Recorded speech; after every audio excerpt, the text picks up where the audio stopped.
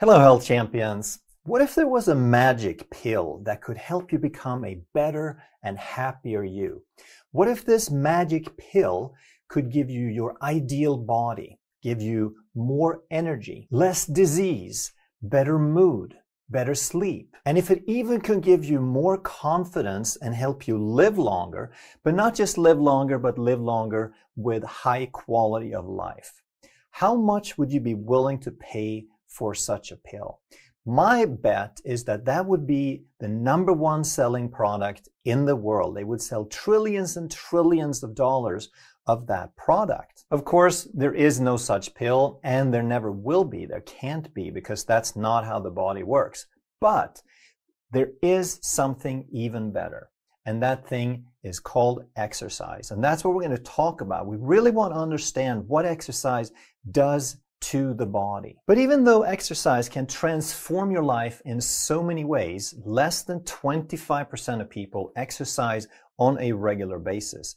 And out of those people, the vast majority don't really know why they're exercising. And by that I mean they don't fully understand how critical movement is to the functioning of the body. The number one reason people exercise is for looks. And there's two things people want to change. They want to lose weight and or they want to build more muscle. Now, the funny thing is that even though the number one reason for exercise is weight loss, it doesn't really work all that well for weight loss. It can help a little bit. It can assist you in your efforts, but it's not the key factor in weight loss. Lowering insulin and changing your diet and eating more whole foods is the key factor. And of course, exercise and weightlifting works for bodybuilding if you do enough of it. And then of course, marketing comes along and reinforces this shallow understanding that it's all about weight loss. And they say that if you buy this product or this cream or this pill, then you don't even have to exercise as if that was a goal to be able to lose weight without exercise, as if exercise wasn't a goal in itself with all the benefits that it can give you. And I've even heard people say, well, why do you exercise? You're already thin. So we want to start understanding why exercise is a goal in itself, not because it can provide some way of changing how you look. It's about how the body functions. So the first thing we need to understand is the purpose of the brain is to create and manage movement.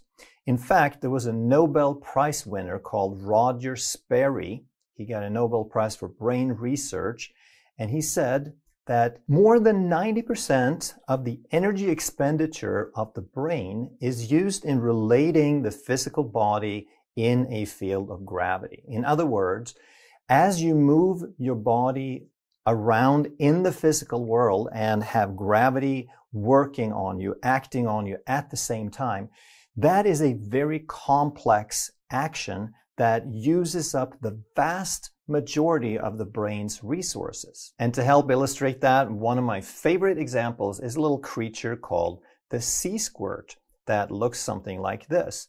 And it starts out its life looking like a tadpole, as this little thing that's going to become a frog.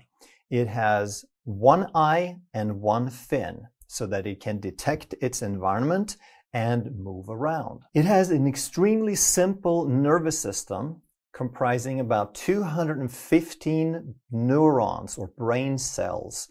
And they're arranged in a way that's similar to a notochord, which is in the human embryo, when we are just after conception, when our nervous system just starts forming, we have a notochord that is basically the precursor to the spine. And this looks remarkably similar in all creatures, from the sea squirt to the tadpole to humans to basically any other vertebrate, anything that's going to have a spine eventually looks very, very similar at this stage. Now, the difference is in the creatures that are supposed to have a spine, this little notochord continues to develop into a full-blown nervous system with a spine and a spinal cord. But the sea squirt is an interesting creature in that its destiny is not to move around. It only gets this nervous system temporarily.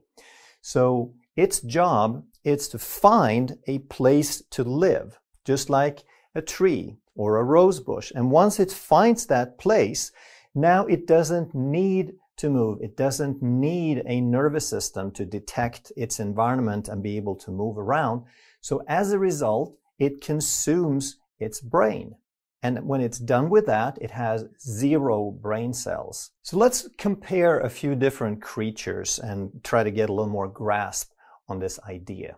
So a tree, for example, has zero brain cells and zero synapses because it doesn't need to move around to survive. It gets its nutrition right where it's standing. But anything that needs to move around to find its food needs to have a nervous system.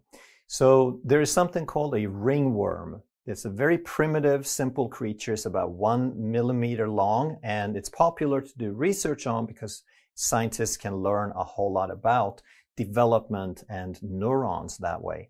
And this little worm, pretty much like the sea squirt, it has a few hundred, it has 300 brain cells.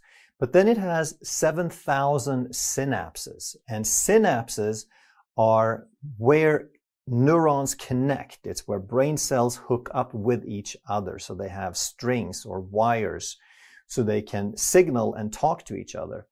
And the way that we learn things is we connect different neurons to each other and we develop different patterns. And then later on, we can learn new things by creating new patterns. Another little creature most people are probably familiar with is called a fruit fly. It has around 3,000 brain cells and about a half a million synapses. So then we take a mega leap up to the human brain which has around 100 billion brain cells. And each human brain cell makes on average 5 to 10,000 connections. So the possibilities are pretty much endless. We can configure these connections almost infinitely. But on any given time, a human would have somewhere around a thousand trillion synapses, which is about 10 to the 15th. So I've used the sea squirt a few times before as an example, and in some of those videos, I've said things that don't move don't have a brain. And I want to qualify that a little bit and say that things that are not intended to move don't need to have a brain. But because of the way I said it, a lot of people misinterpreted that and they believe that a brain is the same thing as intelligence. So now I got about a hundred harsh comments from different viewers saying things like, well, what about Stephen Hawking? Or Stephen Hawking would disagree. Or are you saying that Stephen Hawking doesn't have a brain? And someone suggested that Stephen Hawking is smarter than you will ever be. And I'm not going to disagree with that in the slightest because Stephen Hawking had a very unusual, a supreme, unique intellect. And there's theories that this unique intellect helped him survive the longest that anyone has ever had Lou Gehrig's disease or ALS, uh, also known as amyotrophic lateral sclerosis. So again, the name isn't important, but What's important is that the average lifespan after diagnosis is about five years, and Stephen Hawking survived for 55 years. So obviously, for humans who are designed to move, for humans who are designed to go and develop and build things and find food and develop tools to get better at finding food, we need to have a brain. And if we then lose the ability to move, doesn't mean that we don't need a brain anymore. But what we can say is that because Stephen Hawking wasn't able to move, he gradually deteriorated more and more and more over the years. And we can also safely say that he had some severe challenges in expressing his life and his health. But the biggest reason people reacted so harshly is that as a culture, we believe that the brain is the same thing as intelligence, the same thing as IQ. And if we say that something doesn't have a brain, we're calling that thing stupid, which is not the case at all. So we need to understand what it means to have a strong brain and a brain that can handle everything that it's supposed to. And the thing that we call intelligence, the thing that we call focused thought, conscious thought, is about one millionth of what the brain actually does. It processes somewhere on the order of a billion bits of information every second. And then our consciousness takes little snapshots of that, of about a thousand bits per second. So I'm not saying that our intelligence resides in one millionth of the brain, but I'm saying that the conscious part that guides our intelligence is a millionth of our brain. We still need the whole brain to create all these pathways that we can learn things but the conscious portion is about one millionth. And what does the brain really do? It manages everything about you. The brain provides you strength and muscle tone because without the brain signal feeding the muscle, it's about as strong or has about the muscle tone of a steak. Your ability to have coordination and balance is the result of the brain's orchestration of millions and millions of signals down to the millisecond to time things very, very precisely. The brain also, of course, regulates everything you don't have to think about, such as blood flow and heart rate and breath rate. But it goes even further than that because a strong, balanced brain has the ability to turn things on and turn things off to enable a good mood and attitude. Your ability to handle stress depends on the brain's ability to turn off emergency signals when there is no emergency anymore and to put things into a proper context. And we can go as far as to say that your overall ability to enjoy life, your ability to be happy, your capacity to perceive life depends on how strong and developed and balanced your brain is. So in a nutshell, we can say that the brain's purpose is its ability to process signals, to receive signals, to process signals and respond to signals. And remember, like we said, that 90% of the brain's activity, 90% of those signals that the brain processes have to do with movement. So here's how we want to think about this, that we have the brain that receives signals first from the body, and then the body, the brain, sends signals back to the body. So the brain would never know what to do with the body unless the body sent massive amounts of information. So if you can touch your nose, it's because the brain is receiving information about where this finger is relative to the nose. That's hundreds of millions of bits of information. And then the brain can take that information and relate it to the changes and figure out exactly where that nose is and what the timing and speed and impact and so forth so you don't slap yourself in the face. So the signals from the body provide the brain with a picture. It's kind of like a digital monitor, like your computer monitor or your TV. It has millions and millions of little pixels. And together, all these pixels form an image that you can perceive. If there is less pixels, then the image gets blotchy or pixelated. So if the body doesn't send a correct picture to the brain, then the brain doesn't understand where the body is in relation to its environment. That's called proprioception or body awareness. But the more you move, the more you're providing information to the brain, the more you're strengthening the brain. So the purpose of a muscle is to perform work. So if you go to the gym and you pump some iron, you're putting a load on the muscle. You're fulfilling the purpose of that muscle and the muscle will grow. If you do the opposite, if you hurt your arm, you put it in a cast. Now, there are very few signals. You're not putting any load on the muscle, so the muscle shrinks, but there's also very few signals because there's no movement. So now the brain starts understanding that arm, that body part, less and less.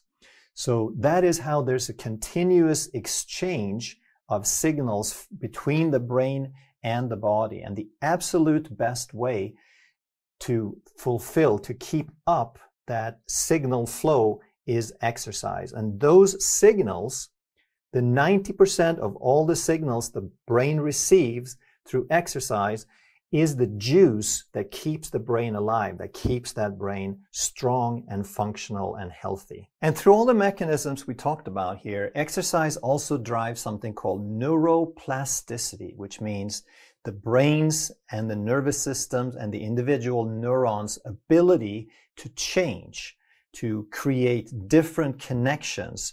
And this is how we learn things by creating more synapses and new synapses, information flows differently and we can adapt to our environment and we can learn new things, whether it's learning to walk or learning to drive a car or learning sign language or learning another language or learning specific skills, whatever they may be. And there is no way to learn anything new without rewiring your brain, without creating new synapses.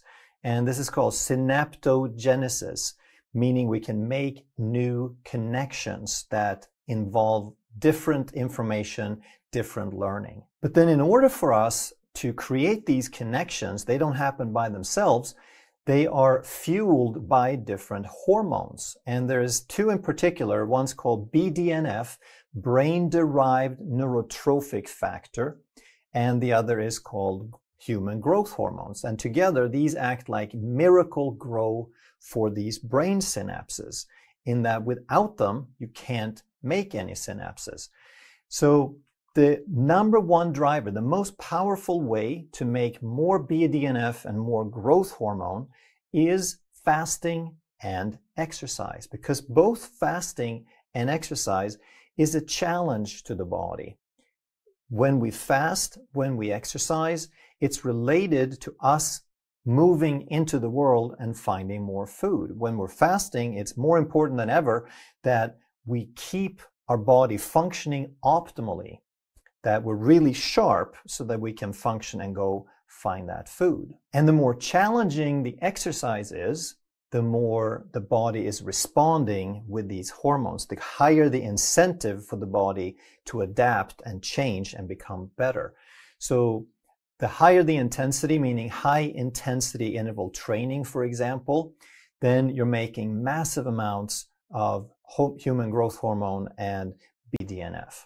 And I just recently learned something fascinating about BDNF. It stands for brain derived neurotrophic factor. So it means it mostly comes from the brain, or that's where all of it came from, we thought, until I learned recently that muscles can also make BDNF.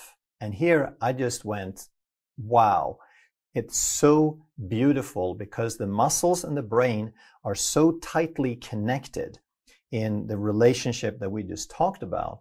So if the brain makes BDNF and needs BDNF, and then the muscles also assist in making BDNF when you exercise, then the signals from the muscles, the muscles are contributing, they're supporting the brain in making new synapses and adapting and learning things better. So if you take the challenge to exercise every day for 30 days, here are just a few of the things that you could expect increased angiogenesis in the brain. What does that mean? It means you develop more blood vessels. You increase and grow the number of physical blood vessels in the brain so that you can circulate more blood and support that brain at a higher level. You would improve your proprioception or your body awareness because just like we talked about, whenever you move, you're teaching your brain something about the body, but you're also making the brain stronger and more capable at the same time. You would lengthen your telomeres. And telomeres are the little end caps of your DNA strands.